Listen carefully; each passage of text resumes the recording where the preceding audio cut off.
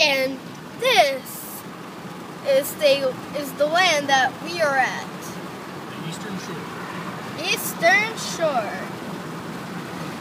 And I think you might be getting a better view than me because you're up higher.